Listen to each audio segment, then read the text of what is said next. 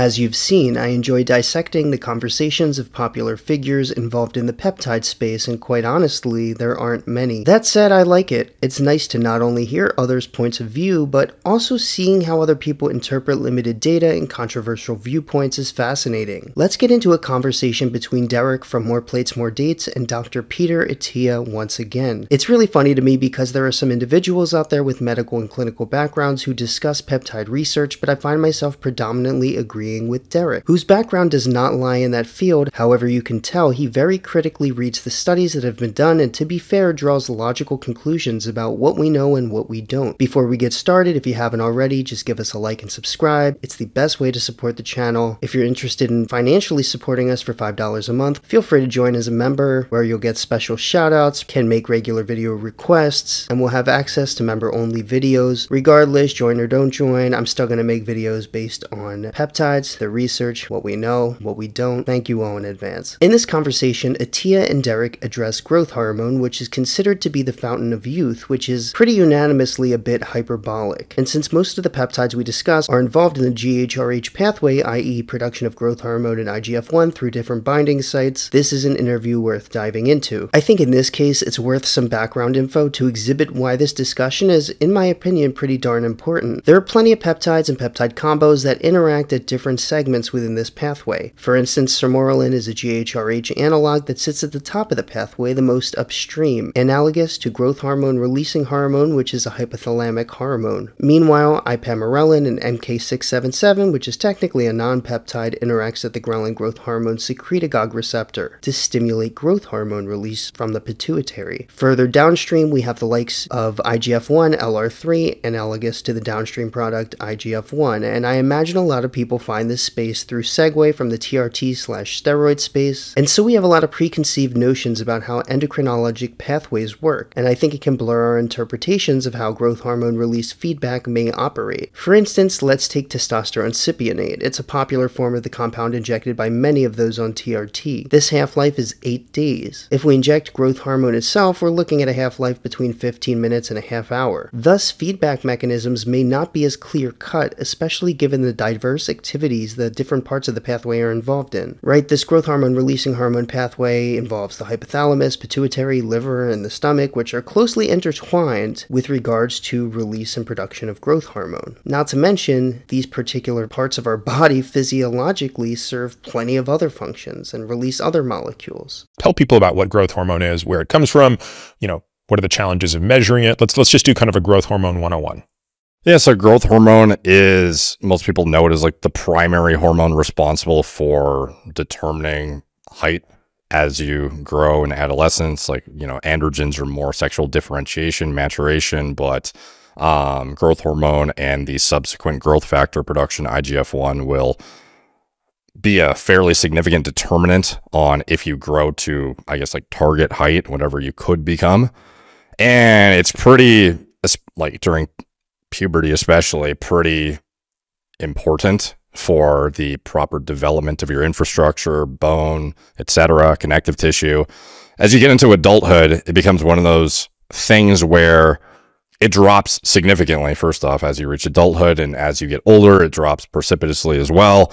And that kind of begs the question is this one of those things that you should be replacing to optimize, you know, function, fat loss, vitality, Exactly. It's no secret that growth hormone is a function of age, as it peaks throughout adolescence and as we become older, it decreases. But does this indicate need to replenish it? That's unclear. Because like most normal physiologic functions in our body, there's a purpose behind it. Well, obviously, after a certain point, the body would not want to strengthen diffuse growth signaling. Moreover, possibly its reduction throughout adulthood is actually protective against cancer and maybe even insulin resistance. So sure, it's the fountain of youth while you're youthful, but perhaps its natural reduction is to prevent deleterious effects of prolonged exposure. And I always try to emphasize this concern when dealing with growth hormone promoting peptides. Theorna is often framed out to be like this fountain of youth elixir, you know, HGH. Oh, it's, you know, so cost prohibitive. It's what all the pro athletes are using. This is the thing you need to be on to prevent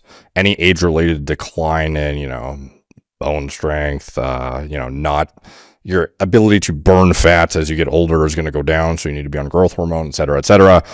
And that is kind of, uh, like at a bird's eye view, it's kind of responsible for the growth of broad spectrum growth of tissues as you grow up. And then as you get into adulthood, it becomes, it's not irrelevant, but it's far less important because you're not trying to, you know, push a human from, you know, childhood into adulthood essentially. And even when you have this push of exogenous growth hormone to manually manipulate your levels after it's called epiphyseal plate closure, there does not seem to be any benefit to be gained from enhancing like the length of bones, for example. Like you could still enhance um, bone mineral density to some extent, and it seems to be, you know, you could enhance connective tissue integrity. It kind of depends on what your situation is and how IGF-1 deficient or lack thereof you are.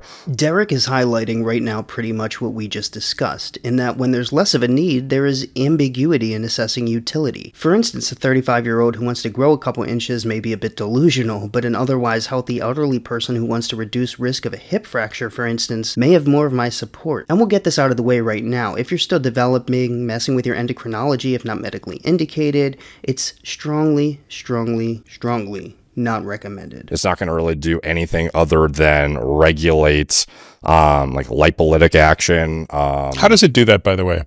It just like, liberates free fatty acids into circulation. So it's kind of seen as the opposing hormone to insulin. So it's like when growth. Does it do that through lipoprotein lipase? I mean, what is it actually acting on a substrate with on the adipocyte? That it seems to be driven through different like baseline I don't know, states that you're in. Like if you have, you know, ghrelin receptor agonism from being fasted, for example, a lot of people point to the literature on if you're deprived of calories, oh, growth hormone goes up. If there are different situations in which it'll go up, deep sleep, obviously, super impactful on if you're going to have release or not as well. But the main actions that I'm aware of, at least in a state of growth hormone pulsation, is kind of the underpinnings are you are trying to liberate free fatty acids for utilization as substrate for energy or anti-catabolic action. So a lot of people turn to growth hormone releasing peptides to not only improve sleep and recovery, but also for its predominantly perceived use as a fat loss tool, or better yet, to improve lean body mass to adiposity ratios. And it's shown it may be able to do that understandably in growth hormone deficient people and the elderly, but it may even accelerate fat loss in those with an appropriate caloric deficit, which is of course a confounding factor given it's tough to control for protein intake, however it was reportedly done, as well as activity levels and sleep quality. And growth hormone has shown it can improve lean body mass generally, but not necessarily fat loss, and how it does so is unclear given the complex physiologic pathways with which it interacts. It is known to stimulate lipolysis or breakdown of fat into fatty acids and theoretically does so by interaction with PPAR gamma, which is involved in insulin sensitivity amongst other biological components, and therein lies possible increased susceptibility to insulin resistance. And interestingly, morning peak of glucose dysregulation in those with diabetes is suspected to be attributed to growth hormone release. So people may lose fat with peptides that encourage growth hormone release, but does it come with a metabolic cost? So the actual like mechanism enzymatically and whatnot, it's a bit fuzzy. And what's the relationship then between GH and IGF in the liver? How does this all work? Because we don't really measure GH in people, right? Because it's pulsatile. So what are we stuck with as a proxy? Yeah, even if you inject GH, like a, large dose of it, you will only see a spike in serum for a transient period of time. And people who are trying to assess the quality of their growth hormone back in the, you know, with the underground stuff, they would be trying to time it very specifically down to the minute to assess the quality of their stuff. But the best proxy for GH production endogenously seems to be widely accepted as IGF 1, which is after you produce growth hormone from the pituitary, there is action in the liver, but also paracrine and autocrine action on, you know, muscle, especially if you are exercising, resistance training. But a lot of the serum IGF 1 is driven through liver production. And that is has its own implications in terms of its effects that seem to be more it's like insulinogenic in itself to some extent and um And this is why when people use peptides that encourage growth hormone release, it's pretty hard to detect physiologically at least what they're doing. GH, as Derek said, is pulsatile, and so when people use most of these peptides with similarly short half-lives, like sermorelin's purportedly 11 to 12 minutes and tesamorelin's approximately half an hour, you're essentially replicating pulsatile activity. Where this uniquely differs is with CJC 1295 with DAC, given its half-life is about 6 to 8 days, and MK677 or ibutane Tamarin that probably sits at about 6 hours. So most of what people report is anecdotal. However, the fact that sermorelin was FDA regulated for idiopathic childhood growth hormone deficiency at some point, and others have shown an ability to increase GH and IGF-1, their mechanisms are legit, but creating goals with regards to biomarkers is complicated. Yeah. Which is kind of counterintuitive, right? Because if IGF-1 has insulinogenic properties, which are promoting a fat storage, and GH is promoting lipolysis, don't those act at odds with each other? And how how, how does how does one sort of uh, become more dominant? Yeah, it's this weird orchestrated feedback loop, and these feedback loops are present in the body in multiple you know multiple different uh, I don't know hormone substrates will reduce in multiple different metabolites that then have negative feedback through different systems. And this seems to be no different if you have GH at a certain level and it results in a certain amount of IGF 1. You will have negative feedback that will then lower your production of HGH this is essentially what I was trying to highlight earlier. There's a lot we don't know, and this growth hormone releasing hormone pathway is a lot more than meets the eye. There are plenty of other components that act on this axis, from ghrelin to somatostatin and liver function. IGF-1 alone, as they're hinting at, can be responsible for both improved insulin sensitivity and insulin resistance, which draws us back to the original question, is growth hormone worth repleting as it decreases with age? And as you can tell, that's a darn tough question to answer. And we'll top this conversation off with some food for thought, or since this is a peptide channel, amino acids for thought. I really do hate myself sometimes. But all in all, as my regular viewers know, I try to emphasize the knowns, the unknowns, risks, and benefits surrounding use of all of these peptides, even the ones that are less experimental in nature. And even though they aren't just talking about peptides here, what Derek and Peter share is certainly translational to an extent. There's a lot we don't know about growth hormone, and most of the people telling you it's an elixir of sorts is trying to sell you something. And as we discussed in my most recent video comparing comparing the three most popular GHRH analogs, quick plug, a lot of the differences between these GH releasing peptides, besides clinical data and trials and anecdote, is their half-life. Compounds with longer half-lives circulate for a longer period of time. Sure, that has benefit if you're trying to take something as infrequently as possible, but also likely prolongs adverse effects if it's something you're not tolerating. That said, I hope you enjoyed this video and the conversation. Hammer that like, that subscribe, and talk to you soon.